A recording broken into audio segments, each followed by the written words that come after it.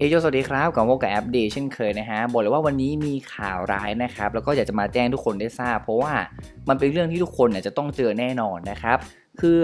วันนี้เนี่ยในเว็บไซต์ของทาง Konami เกี่ยวกับตัวเกม p a c e เวอร์ชันมือถือนะฮะได้มีการให้รายละเอียดข้อความมานะครับ คือสรุปให้ฟังนะคือเขาบอกว่าเมื่อประมาณวันที่ 15 นะครับที่ผ่านมาเนี่ยตัวเกมเนี่ยได้พบปัญหาว่ามีหลาย ๆ user หรือว่าหลาย ๆ คนเนี่ย ไม่สามารถดาวน์โหลดเกมได้ หรือว่าไม่สามารถติดตั้งอัปเดตตัวแอปอะไรปัญหาต่างๆ เนี่ยเหล่านี้ได้ทำให้ตัวเกมนะครับจะต้องการแก้ไขเวอร์ชั่นของตัวแอปพลิเคชันก่อน โดยปกติเนี่ยถ้าเราอัปเดตล่าสุดตอนนี้นะครับ มันจะเป็นเวอร์ชัน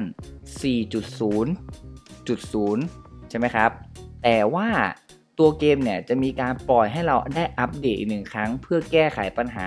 ให้เข้าเกมได้ทุกคนอัปเดตได้ทุกคนโหลดได้ทุกคนอะไรประมาณนี้เนี่ยให้เข้าเล่นได้กันทุกคน เป็นเวอร์ชัน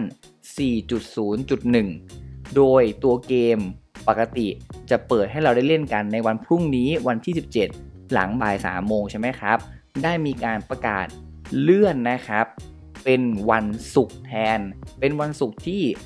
18 หลังบ่าย3โมง ซึ่งอาจจะมีแบบเป็นบ่าย4บ่าย5โมงเย็น6โมงเย็นอะไรพวกนี้ก็ต้องรอติดตามกันอีกทีหนึ่งนะครับ โดยบอกไว้ก่อนนะฮะว่าในช่วงที่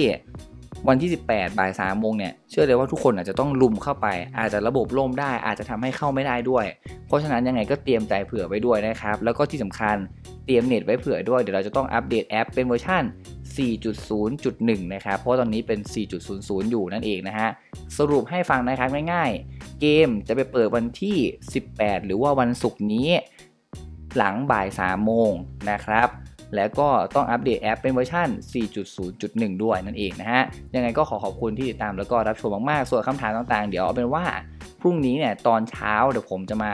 ตอบให้หมดเลยนะครับ ตอนนี้กำลังรวบรวมอยู่เพราะว่ามีคำถามค่อนข้างเยอะมากๆ แล้วพบกันใหม่ในคลิปหน้าครับ อย่าลืมกดบาไปที่ปุ่มไลค์ปุ่มแชร์อย่าลืมกดติดตามด้วย ใครมีปัญหาเรื่องติดตั้งดาวน์โหลดอะไรไม่ได้ยังไง ก็อย่าลืมคอมเมนต์เข้ามาด้วยนะครับ ไปแล้ว สวัสดีครับ